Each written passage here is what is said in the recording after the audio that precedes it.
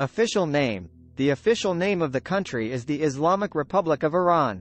Geography. Iran is located in Western Asia and is bordered by seven countries, Armenia, Azerbaijan, Turkmenistan, Afghanistan, Pakistan, Iraq, and Turkey. It also has coastlines along the Caspian Sea to the north and the Persian Gulf and the Gulf of Oman to the south.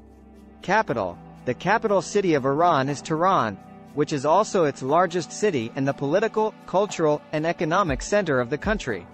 Population. As of my last update in September 2021, Iran had a population of over 83 million people, making it one of the most populous countries in the Middle East. Language. The official language of Iran is Persian, Farsi.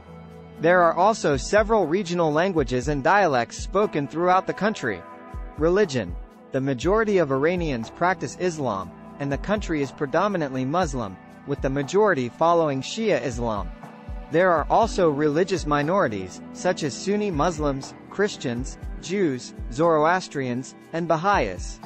History Iran has a rich and ancient history, with its roots dating back to ancient civilizations such as Elam, Media, and Persia.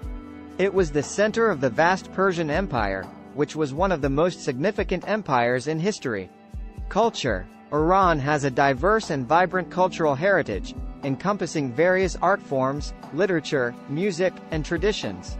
Persian rugs, calligraphy, and traditional music, e.g., classical and folk, are some of its renowned cultural expressions.